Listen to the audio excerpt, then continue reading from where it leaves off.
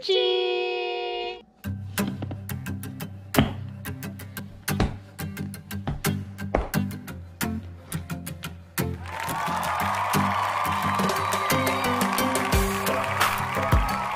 And you know what? The process is really very long.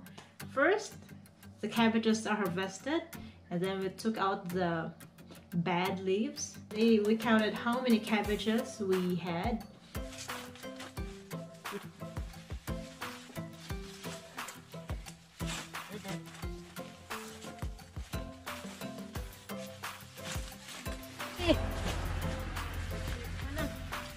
So last year they made like 200 cabbages and this year we made like 150 cabbages. The next day we had them salted.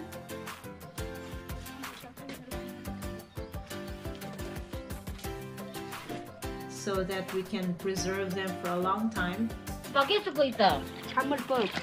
어? 우리가 진여 보내봐라. 음. 아이고 우리 와, 딸내미 예쁘다. 우리 딸내미 시집가려면 힘든다. Next day, I didn't have the chance to wash them, but my sister-in-law helped my mother-in-law. And when they were making the sauce, we boiled some water.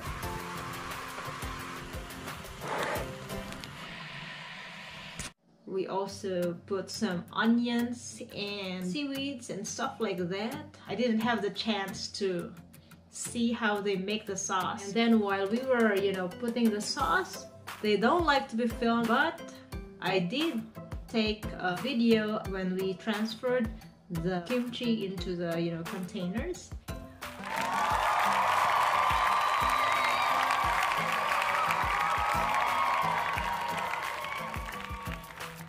And then lastly, the leftover sauce that we had, we put some cubed sliced radishes inside and then we mixed it up.